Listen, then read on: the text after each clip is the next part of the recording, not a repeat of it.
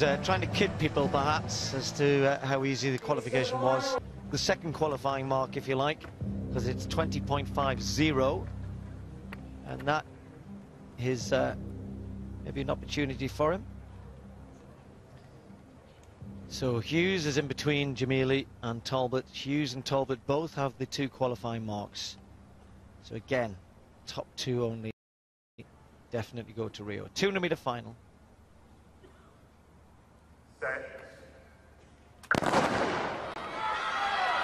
Get away cleanly, and Zharnel Hughes already finds Adam Gemili has up and passed him round the top bend there. Talbot going well. Chris Clark trying to stay up with the Prescott with a bit of work to do. But look at Gemili and Talbot. These two pulling away now. Can Zharnel Hughes find anything? Answer is no. Gemili coming away from Talbot. Then Talbot coming back at him. And will Talbot get there? No. Gemili wins it. 25.46. Double bonus. That's enough. That's good enough. The two of them will go because Gemili has dipped under the qualifying mark again. Talbot came with a late surge there, wasn't quite good enough in the end, and as we suspected with Zharnel Hughes, he now has to convince for my money. We've got Mitchell Blake, we've got others who have some convincing to do with the selectors. These two are going, oh sorry, uh, Gemili and uh, Dan Talbot not in the picture there, but those two definitely going. The question is, not an answer we need today, but who will get the third spot. But what did you make of that?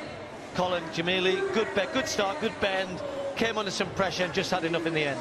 Yeah, you first of all mentioned how chilly it is, Steve. It is gone. The temperature has really plummeted now, isn't it, for these sprinters? Oh, you've got a hoodie on and a, and a fleece and everything. I'm still in a shirt. I am perishing, but you're from the northeast, remember. You're stronger than us Welshies. Right in the middle, though. Adam stepped really on Zharnel's really quickly, got onto his shoulder and just breezed past him. Next target, obviously, was Danny Talbot. Again, he flew past Danny, but Danny kept that real cool head, didn't he? He's one of these really meticulous athletes, and he just kept that rhythm of his going, which made him gain ground. Look at this, we're getting close to the line. Adam leans and Danny was right there, wasn't he? Really good run from both those guys, and I'm pretty sure they both went under that Olympic qualifying standard there.